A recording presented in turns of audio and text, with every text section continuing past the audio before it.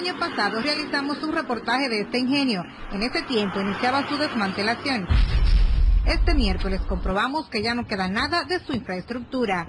Esto se ha convertido en una ruina porque no se sabe qué método se utilizó, no se sabe si este terreno lo vendieron, no se sabe con quién negociaron, qué compañía. Para los colonos que dedicaron toda su vida a la zafra, tristes narran lo que significó para ellos. Eso da pena mirar eso. Yo levanté 13 hijos de ingenio. Que eso fue como una escuela para uno. Ya miro esto como con pena y tristeza. Expresaron que los guardias que cuidaban el ingenio fueron los responsables de su descalabro total. Comenzaron a vender a compañía y robarse ellos mismos, comenzando por el capitán. La masa gorda se llevaba todos los cuartos, pero la masa pobre no, no veía ni uno de eso.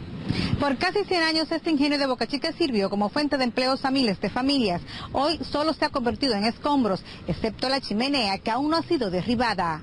La chimenea yo creo que podía dejarse como algo simbólico. Se recuerda que este joven perdió una pierna al ser alcanzado por un disparo cuando buscaba hierros para ganarse la vida. Yo quisiera que la gente que estaba en el día, que me dieron este tiro en el ingenio, yo le hago un llamado para que me ayuden, para que me pongan mi pierna. Con nostalgia, los residentes de este municipio observan en lo que fue convertido la industria azucarera y expresaron que solo recordarán lo dulce que fue una vez el ingenio de Boca Chica.